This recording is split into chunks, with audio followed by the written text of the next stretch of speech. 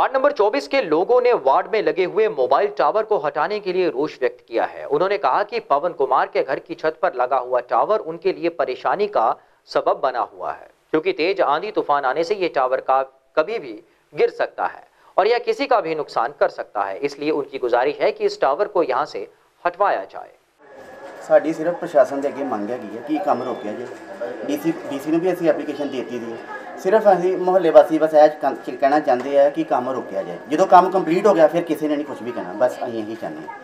Sir ਅ, ਨਗਰ ਪਾਲਿਕਾ ਵੀ ਅਸੀਂ ਇੱਕ ਕੰਪਲੇਨ ਕੀਤੀ ਹੈ ਜਿਹਦੇ ਵਿੱਚ ਸਾਰੇ ਮਹੱਲੇ ਵਾਸੀਆਂ ਦੇ ਸਿਗਨੇਚਰ ਵਗੈਰਾ ਕਰਕੇ ਉਹਨਾਂ ਨੂੰ ਅ, ਇੱਕ ਆਪਣੀ ਦਰਖਾਸਤ ਦਿੱਤੀ ਸ਼ਿਕਾਇਤ ਪੱਤਰ ਦਿੱਤਾ ਔਰ ਇੱਕ ਡੀਸੀ ਆਫਿਸ ਦਿੱਤਾ ਹੈਗਾ।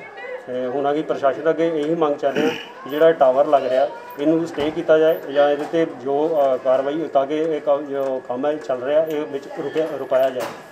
ਅਗਰ ਕੋਈ ਕਾਰਵਾਈ ਨਹੀਂ ਹੁੰਦੀ ਫਿਰ ਅਸੀਂ ਜੋ ਵੀ ਮਹੱਲਾ ਫੈਸਲਾ ਲਏਗਾ ਉਹਦਾ ਜ਼ਿੰਮੇਵਾਰ ਪ੍ਰਸ਼ਾਸਨ ਹੋਏਗਾ। ਇਹ ਕੱਲ ਨੂੰ ਹਾਈਮਾਈ ਕੁਝ ਹੋ ਜਾਂਦਾ। ਵੱਲੋਂ ਉਹਨਾਂ ਨੇ ਕਿਹਾ ਸੀਗਾ ਕਿ ਕਿ ਹੁਣ ਨਗਰ ਪਾਲਿਕਾ ਵੱਲੋਂ ਕਿਹਾ ਕਿ ਉਹਨਾਂ ਨੇ ਕਿ ਹੁਣੇ ਹੀ, ਬੰਦੇ ਭੇਜ ਕੇ ਕੰਮ ਰੁਕਵਾ ਦਿੰਦੇ ਆ। ਉਹਨਾਂ ਨੇ ਸਾਡੇ ਸਾਹਮਣੇ ਇਸ ਤਰ੍ਹਾਂ ਮਤਲਬ ਕਿ ਕਿਹਾ ਕਿ ਫਲਾਣਾ ਭੇਜੋ ਫਲਾਣਾ ਭੇਜੋ ਔਰ ਹੁਣੇ ਸਮਾਨ ਪਾ ਗੱਡੀ 'ਚ ਪਾ ਕੇ ਲਿਆਓ। ਹੁਣ ਤਾਂ ਕਾਫੀ ਟਾਈਮ ਹੈਗਾ।